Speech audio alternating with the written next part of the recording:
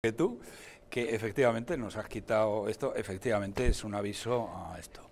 Pero vamos, dicho esto, ¿eh? el señor Sánchez no tiene ni la menor intención de dejar el Falcon y, las prebendas que tiene. Que los independentistas y los burguesía y los traidores, siempre traidores del PNV, esto eh, no les parezca bien y no los apoyen, le da lo mismo. Es decir, vamos a imaginar que al final del día ese mensaje no ha llegado suficiente y no le aprueban los presupuestos. Estamos hablando ya del mes de abril, ¿eh? o sea que fíjate tú si va a pasar agua debajo de los puentes hasta entonces. Bien, ¿y qué pasa? Pues prorroga los presupuestos del año, del año anterior y aquí paz y después gloria. El señor Sánchez no se mueve de la Moncloa, ¿eh? Eh, eh, porque bueno, porque el, tío este es un psicópata total, pero vamos, lo del lujo, el Falcon, los aviones, lo otro, es que verdaderamente nunca ha habido una persona, es que parece un paleto que, mm, bueno, que no se sabe dónde ha salido. Pero bien, este no es el tema. Ahora vamos a las cifras, a las cifras económicas. El paro.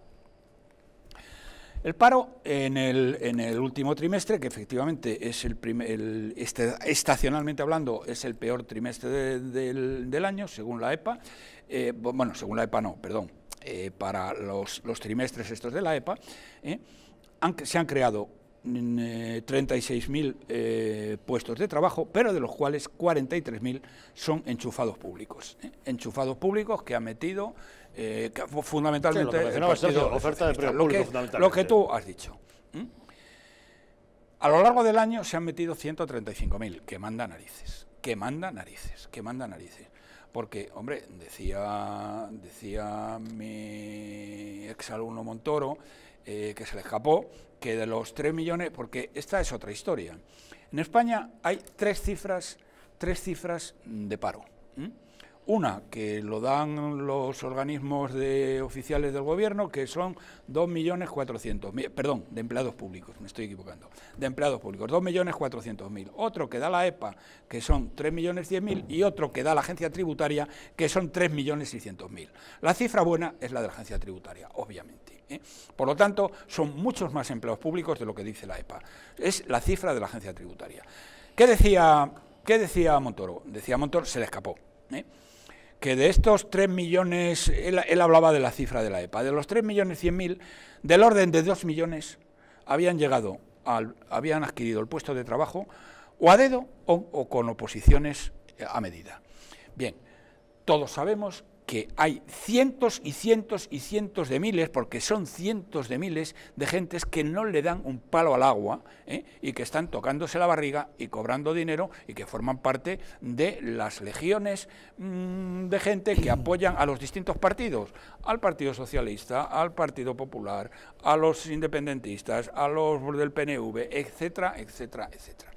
Bien, que ahora estos tíos, en una situación como la actual, sigan haciendo lo mismo, no hay por dónde cogerlo. Pero, sin embargo, lo más importante, lo más importante eh, eh, es que, querido Javier, es que lo que se está demostrando es que se han destruido 7.000 puestos de trabajo en el sector privado en el tercer trimestre y eso demuestra que estamos en una desaceleración económica brutal, una desaceleración económica brutal. Y ahora voy al tema de los presupuestos.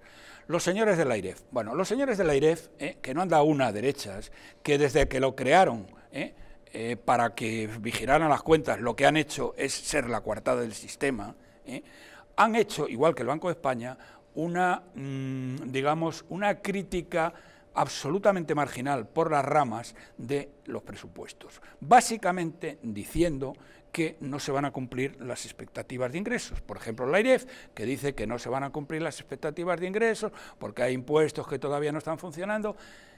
Y sabes, querido Javier, es que la gente no se lo lee, pero ¿sabes lo que dice eh, estos miserables de la IREF? Porque son unos miserables, ¿eh? y ahora te explico por qué. ¿Sabes lo que dicen? Que claro, que lo que tiene que hacer, que no se van a, cubrir, porque los impuestos no van a estar en marcha eh, a tiempo, y que lo que tienen que hacer es acelerar el poner más impuestos a los españoles, que tenemos la mayor presión fiscal sobre pues la familia, una de las mayores de hace. Bueno, eso es lo que dice el EDE. ¿Y qué no dicen estos miserables? Señores del aire, que no tenéis vergüenza. ¿eh? Bueno, no habéis dado una, porque siempre habéis estado eh, simplemente eh, sirviendo de garantía a las cifras falsas que han ido dando unos y otros toda la vida. Quiero decir, no nos olvidemos, que el señor Rajoy ni un solo presupuesto llegó por aproximación a lo que era. Ahora sí, este, los presupuestos de Sánchez eh, superan incluso los de Rajoy, que ya es superar, que ya es superar, en engaño, en falsedad, en, endeudamiento, etcétera, etcétera, etcétera. Mira, señor de la AREF, los señores de la AREF eh, eh, se andan por las ramas en este tema impositivo, pero no cuestionan lo fundamental. ¿Qué es lo fundamental? Lo fundamental es la base de los presupuestos, que es el crecimiento del PIB, que está en el 2,2%. Mira, mm, señor presidente de la AIREF, ¿cómo tenéis vergüenza de no cuestionar este 2,2%? Es que tal y como está la economía, con todos los indicadores de actividad y de demanda cayendo en el tercer trimestre, desplomándose algunos, como las ventas de automóviles, como acabas de ver en la EPA, ¿eh? donde se ha destruido empleo, el empleo de verdad, no me refiero a los enchufados, el empleo de verdad, ¿cómo narices estás diciendo que va a crecer al 2,2%? La economía española ahora mismo, ¿eh? señores de la IEF, está creciendo al 1,5%. Y digo más, y vosotros lo sabéis y lo estáis ocultando. ¿eh? Y estos presupuestos no se van a cumplir ni por el forro. Dicho esto, y termino, espero y deseo que el señor Sánchez no convoque elecciones y que lleve a España a la ruina a final de este año. ¿Ese es su deseo? Vaya sí, sí, y te digo por qué. Porque de esa manera probablemente el PSOE va a desaparecer del mapa. Porque el hundimiento que va a tener el Partido Socialista, cuando la gente se dé cuenta del desastre económico al que nos están llevando estos tíos, ¿eh? va a tener un hundimiento electoral como jamás lo había tenido. Pues y probablemente acabe desapareciendo. Más vale que tenga remedio el agujero que nos deje.